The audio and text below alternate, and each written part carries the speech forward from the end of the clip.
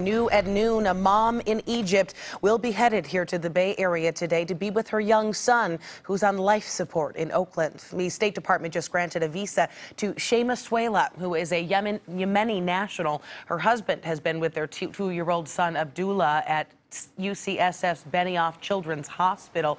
The boy has a degenerative brain disease, and doctors say it is getting worse. Swileh was blocked from the U.S. under the president's travel ban, but soon she will be able to hold her son in the hospital.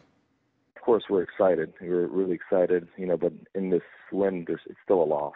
And so, but we just hope that she, you know, she can make it in time and, and see her son in his last hours.